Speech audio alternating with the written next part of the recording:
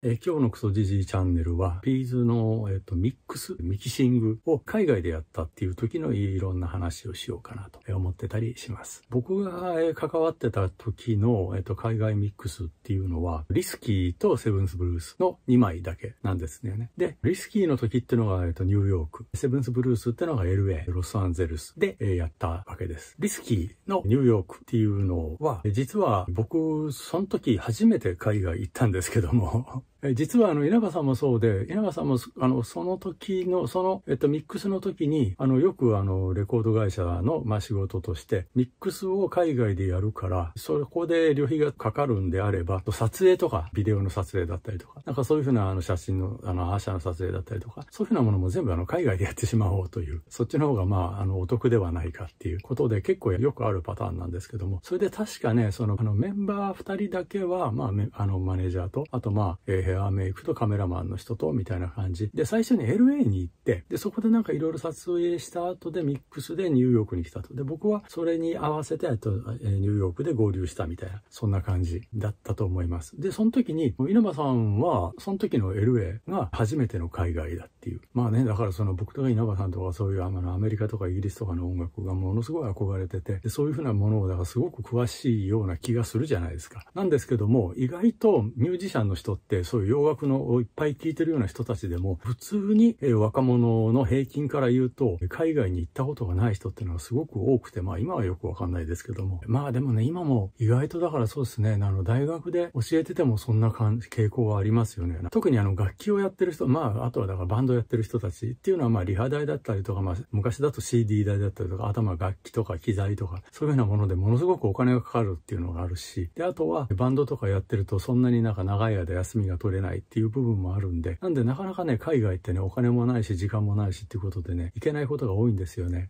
前回はニューヨークのミックスの話をしましたんで、今日はセブンスブルーズの LA のミックスの時の話とかをちょっとしようかなと思います。LA っていうかね、セブンスブルースの場合はね、まあ2枚組ということもあってですね、なんかものすごく曲が多いわけじゃないですかね。20曲近くあったりとかして。なんでまあそれをだからなんかこう、テープを全部持ってくわけなんですけど、まあそれはまあニューヨークの時も一緒なんですけども、あの荷物で預けるのとかは、あの、不安なんで、機内持ち込みにするんですよ。で、そうすると、機内持ち込みの時にエクセのハイジャック防止の検査あるじゃないですか。で、それをやっぱりあの磁気テープなんで、エクセンとかそういう電磁波とかにさらすと音が変わる可能性があるんで、絶対通したくないというところで、それを通さないでくださいと、これはだから磁気テープなんで、みたいな話を空港の人にして、そこでなんとか中を見せたりとかしてね、この中にライフルとか入ってないぞ、みたいな、爆弾入ってないぞ、みたいな、そういうような感じでやって、まあ説明するんですけども、あの、行きはいいんですよね、成田空港なんで。なんだけども、帰りは全部英語で説明しないといけないじゃないですか。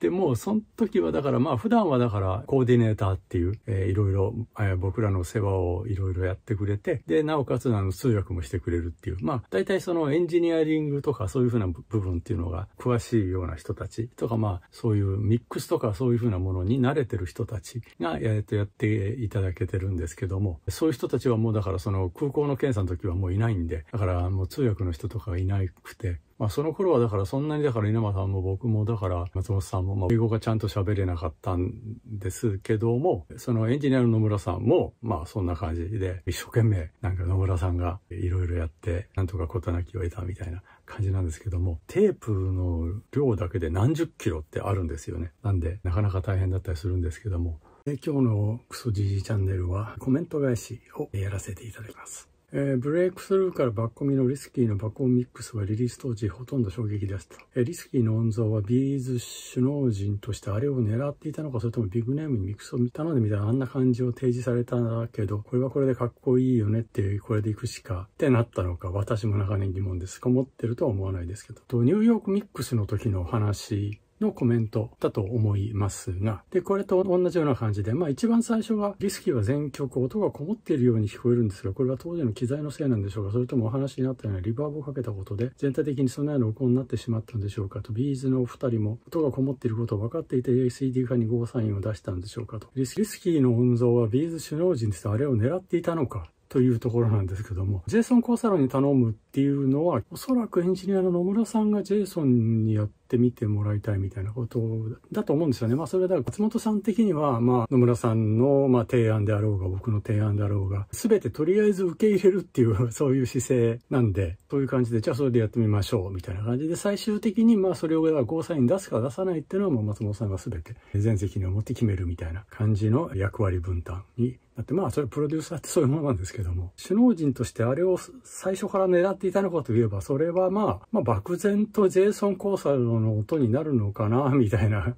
感じで、だから最初から狙ってたっていうわけではない感じですね。まあビッグネームミックスを頼んでみてあんな感じを提示されたけど、これはこれでかっこいいよね。これはこれでかっこいいよねっていうほどのなんかこう、次のアルバムをどういう風なサウンドにしようっていう明確なビジョンっていうのはね、基本的にないんで、なんか、割と成り行きなんですよね。で、音がこもっているっていうのはですね、僕はだからもう当時も今も全然こもってると思わないんですけども、政治のお二人も音がこもってることを分かってて CD 側にゴーサイン出したっていうのはそれはこもってると分かってたんじゃなくてこもってると思ってなかったんです。僕もこもってるとは思わなかったですし、別に暗いとも思わなかったんで、まあリスキーの音がなぜこもってるのかといえば、まあおそらく残響のせいだと思います。